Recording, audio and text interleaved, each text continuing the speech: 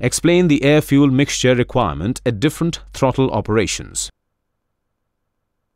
We know that in an SI engine, the stoichiometric air-fuel ratio is 15 to 1. Have you ever wondered why we keep air-fuel mixture varying between 7 to 1 and 20 to 1 instead of fixing it at 15 to 1? This is because we require different air-fuel ratios at different throttle operations. Generally, throttle operation is divided into three ranges idling, cruising, and high power range.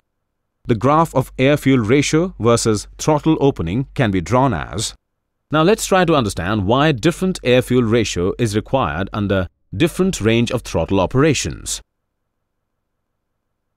Idling range since the throttle is marginally opened during the idling range, therefore very less air comes into the engine which increases the amount of residual gases in the mixture. Also, due to less air coming in, there is a high drop in pressure inside the combustion chamber, which causes backflow of the residual gases. This dilution of fresh charge results into poor combustion.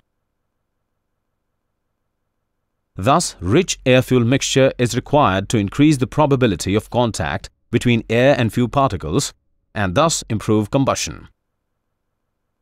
Cruising range Since the throttle is opened to around 50% during the cruising range, so the problem of charge dilution becomes insignificant.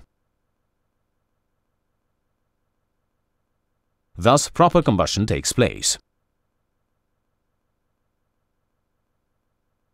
Hence, it is desirable that in this range the carburetor provides the economic air-fuel ratio, which results into a lean air-fuel mixture. High power range Since high power is required during high power range, therefore it is desirable for the carburetor to deliver the air-fuel mixture which provides maximum power.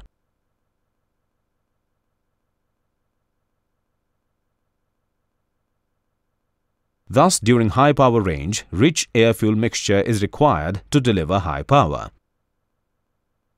Now let's summarize the mixture requirement at different throttle operations as